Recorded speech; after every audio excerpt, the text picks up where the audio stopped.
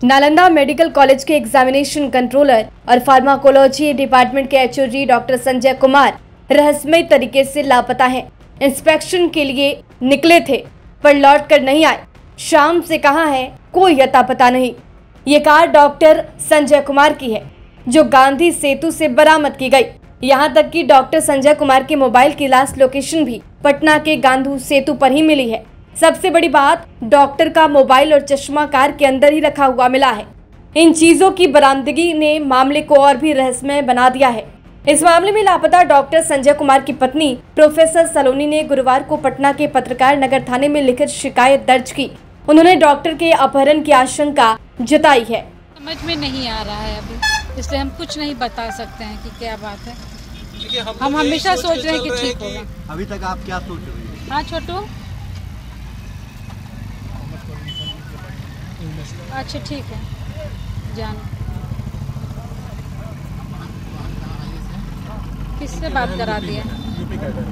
Police ने IPC की धारा तीन सौ पैंसठ के तहत अपहरण की एफआईआर दर्ज की है। परिजन अपहरण की आशंका जता रहे हैं। हालाँकि फिरौती को लेकर किसी तरह का फ़ोन कॉल नहीं आया।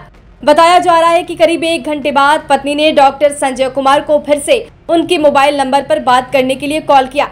वो जानना चाहती थी कि उनके पति कहाँ तक पहुँचे हैं मगर उस वक्त उनके पति ने कॉल रिसीव नहीं किया।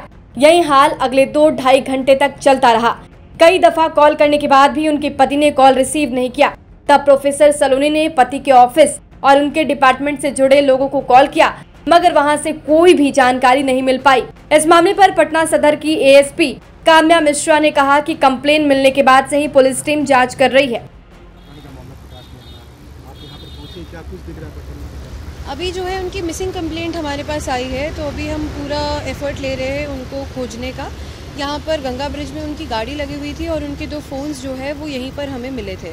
तो we are cooperating with the family और जल्द से जल्द जैसे भी होता है जो भी कंक्लूसिव प्रूफ होता है हम आपको ब्रीफ कर देंगे।